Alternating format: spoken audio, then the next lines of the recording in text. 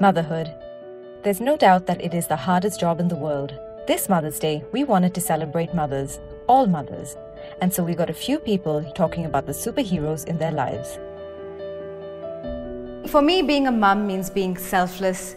It means opening yourself up to a whole universe of love that you didn't even know existed. Being a mother is someone who is always there for you no matter what, in your good times, in your bad times. I think you have to be very loving to be a mom and to be able to cherish life with you and enjoy experiences. Being a mom is being a friend and yet being a mom. Unconditional love, which I think comes naturally. And I think being a mom is just one of the most fabulous jobs in the world.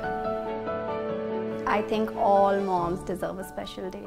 I think moms deserve every day to be celebrated. Not just one day. Every day of their life should be a special day from them. You. You? You. You. She's just warm and loving, and she's always been there for me, and uh, she's always just been like a mother figure. As a teenager, he knew everything about me. He knew all my boyfriends. He would always cover for me, and he's been more like a best friend. She's fun, she's caring, and she's just like a mother to me. She's been the biggest influence in my life. And after my mom passed, I, I don't know what I would have done without her. Do we fight? Of course we do.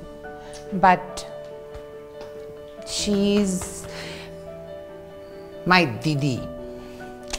That's what I am, yeah.